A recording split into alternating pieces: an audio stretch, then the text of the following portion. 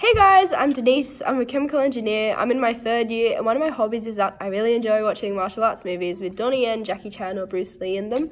I think what differentiates me from other people is my love for a wide range of sports and my competitiveness. I'm a very goal orientated person, so I tend to find myself trying out new sports every so often and setting new goals within them.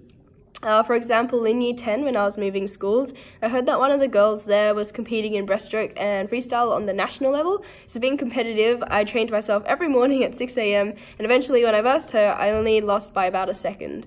Um, on top of that, I've experimented in other sports like soccer, martial arts, road cycling, and archery. Uh, but one of my biggest achievements is that naturally I'm a sprinter, but over the past few years, I've trained myself to run long distances.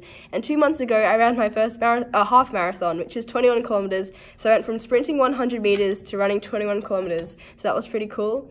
I think these sports have helped me a lot in my university life um, and my co-op experience and will extend and help me in my future career because for each goal that I set and achieve, they require a lot of focus and discipline uh, to achieve this sort of growth. But looking back at it always makes me feel a lot stronger because I can say things like, if I can run 21 kilometers, why can't I get up at 6 a.m. to study?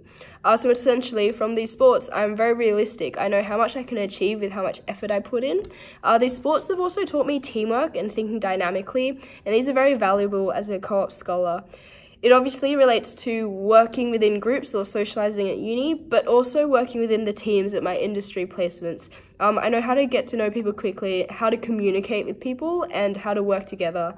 Uh, but most importantly, these sports have taught me commitment, resilience, and grit. And these are the qualities that are going to help me uh, excel in, in university and my future career.